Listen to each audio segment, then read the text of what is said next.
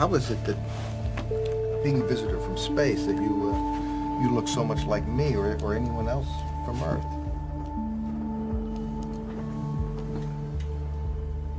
Why is a soap bubble round? Why is a soap bubble round? You know, for an educated person, Mark, you repeat things quite a bit. Are you aware of that?